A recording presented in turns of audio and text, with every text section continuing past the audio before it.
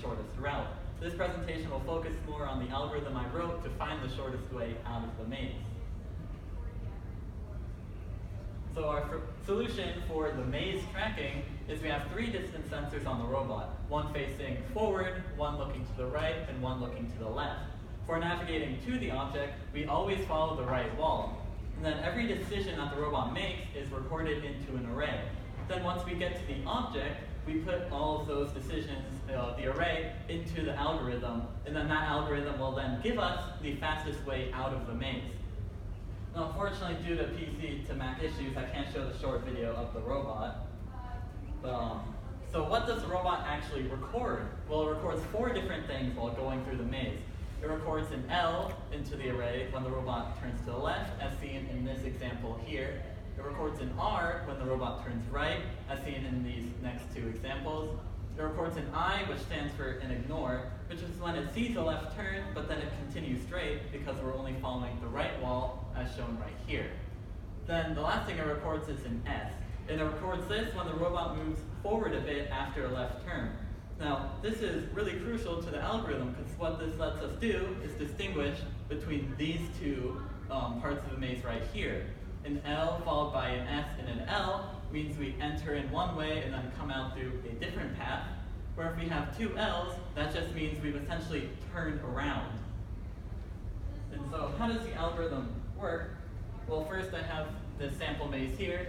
This S is, will be where the robot starts, and we'll say this blue star is the object. This red path here is the path that the robot will take getting to the object by following the right wall, and the green perpendicular lines are where to text and ignore. And this up here is the decisions array that the robot would put out when going through this maze. So how does the algorithm actually work? Well, it will manipulate, manipulate that array until it can no longer make any more changes. So first, every double L is translated to a B, which stands for back. As I explained earlier, if we have two L's, we know we've essentially reversed. And then after that, it removes all the S's because this is all we needed the S's for, to distinguish that from whether, whether we're just going up, turning left, going straight, and then going up again, or if we're reversing. So this is that same maze, and this is what the decisions array looks like after those two steps have been done. You see there's no more S's, and now there's some B's in there.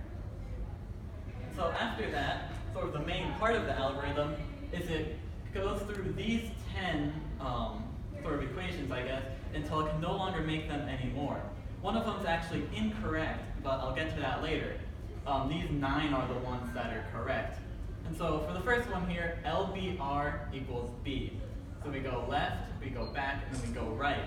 Now, these, they're kind of like functions where given one input, there's only one output. We know if in the array we have LBR, we know for certain it will look like this section of a maze, so we can say that, okay, this is essentially a B, and we'll cut out that dead end there. And that's the same for all of these nine, where given this input, we, we know there's one output. And you'll see some E's in there, and that's because right here, if we have R, B, R, we set that to an E. And an E stands for we've traveled through there, but we're treating it as an ignore. So for the purposes of the program, E's and I's are essentially the same, but this helped me distinguish exactly what to do while coming up with this program. And so here we have the maze before and the decisions array, and now I'll go through the first iteration of the program. You'll see some of these dead ends like right here, right here, they're gonna get cut off.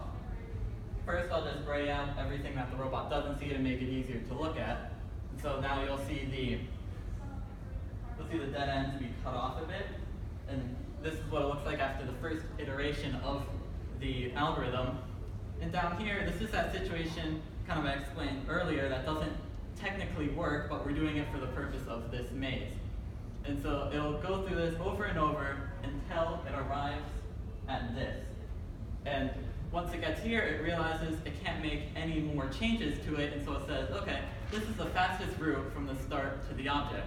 Well, we actually want to get out of the maze, so what we do to get from the object back to the start is we just flip the array, and then all the L's are changed to R's, and the R's are changed to L's, and that looks like this. this right here is the fastest way out of the maze from the object.